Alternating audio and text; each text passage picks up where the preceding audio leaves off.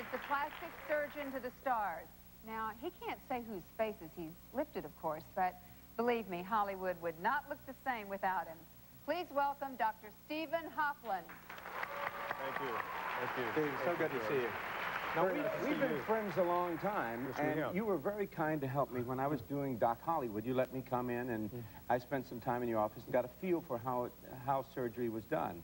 He watched you actually do a facelift, right? Absolutely. George was a great student. I mean, he learned too well. Uh, Can I ask you a question, though? How, if I, I'm a woman and I'm going to mm-hmm. have a facelift, you come to me and say, I've got George mm-hmm. Hamilton, he mm-hmm. wants to come in and watch the surgery? This was Isn't a that friend weird? of mine who had the surgery done. Oh, And- I Yes, and I, and I But we went have to have permission. Oh, of course. So I went into it. It was fascinating to Yeah. see the way you work. You're an artist. You invent the tools even. That's what's amazing to me.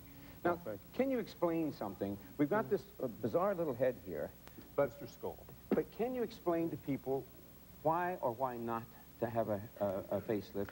Well, George, the face ages in different segments. Forehead ages by muscle dropping on the outside, by an increase in muscle activity on the inside, called scroll lines. The mid-face ages because fat drops. Okay, we used to think that muscle, or the muscle became loose. In the breast and the buttock area, fat tends to drop down. So instead of tightening the muscle, we elevate the fat. The neck, of course, muscle becomes loose. These are the muscle bands here. So we're changing the techniques. It gives really wonderful results. We're, we're very pleased with some of the technical abilities that we have today. So you're making- lifting the fat. Absolutely. We, what we do in the, in the uh, forehead area is we're actually lifting muscle and smoothing the corrugator muscle down. Right. But in the mid-face, instead of lifting the muscle areas, now a newer technique is elevating and fixating the fat. Gives a much more youthful, much more natural appearance than the previous technique. What kind of time is involved now in a facelift? If someone wanted to come in, how long are they out of work before they're back looking uh, better than they Average did? of 10 days. It may be a week, days. it may be two weeks. By the time somebody can get back socializing, going out to dinner, back to work, and not have somebody know that, you know, things were done. But doesn't that vary on their own uh, personal uh, healing and clotting and bruising? We, we give a, a very detailed set of instructions to patients before surgery.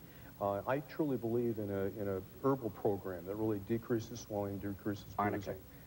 Arnica is one of the factors, of course, as you know. And there's, there's many, many things that I think are new that are, are really beneficial to help patients heal and to decrease the recovery time. Do people expect too much? I'm sorry, because I, I just, I don't mean to interrupt, but uh, I'm fascinated by surgery. And do, do people, ex uh, uh, do they expect too much when they go to have surgery sometimes? Well, certainly some do. I think part of a good surgeon's role is really to instruct patients in what is realistic and what is not.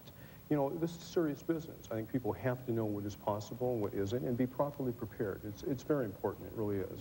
What about being affordable for, mm-hmm. for, for people who don't have thousands and mm-hmm. thousands of dollars to spend? Well, I think, Alana, it's, it is more affordable than it used to be, certainly in many aspects. We do surgery now in an office setting in facilities that are really, you know, very, very technical and, and certified. Uh, the expense is much less than a hospital, of course. You know, it, it is expensive surgery. It could be an What's the in-office. average?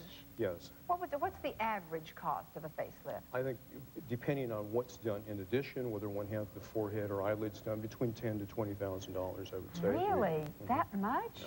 It can be less in certain circumstances. Can I get a even more. discount since I know you? Well, of That- course. that- that's, no, that, Lana, that's viscount or viscount, Bentley, not discount. Now, Right. now when, when, when, I know that you do a lot of uh, charity work, and you've taken some cases that are amazing for free. Uh, a couple of the cases that you've done. Well, I I was a very busy burn surgeon for a decade back in the 70s and early 80s, as you know, George, and I still take care of a lot of those patients.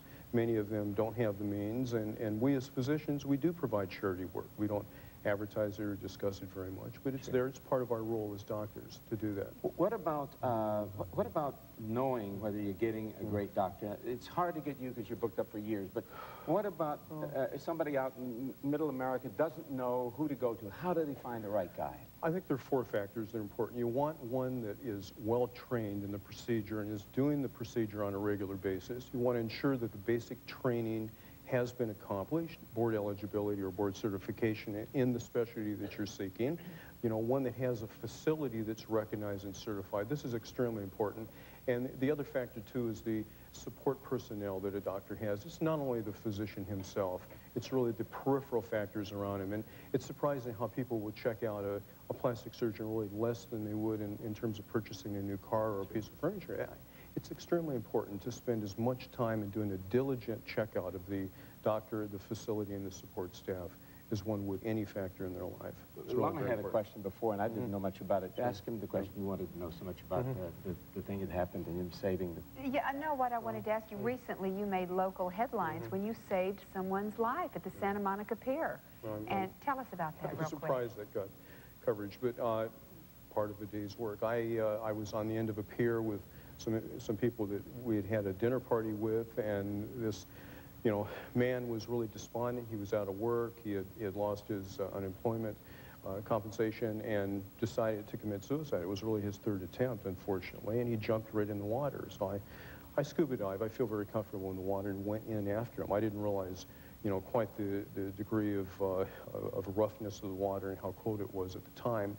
Uh, I was in for a long period of time, and uh, you know, I'm happy we saved him. And um, He's now he's- working But he's working for He's me, now working This for is you. the I- part. I didn't want works him to do it again, so there was really no choice. Uh, he's a very nice individual. He's, a, he's actually a computer specialist. He's helping me write a book uh, that I'm completing. So And he's doing great now, isn't he? he's doing wonderful. That's wonderful. Thank Thank you you so much, Steve. You're welcome. Thank you. You're very Come and see us again anytime. The rest of the Yeah. physicians. Thank Thank you you, Dr. Steven Hoefflin. We'll be back.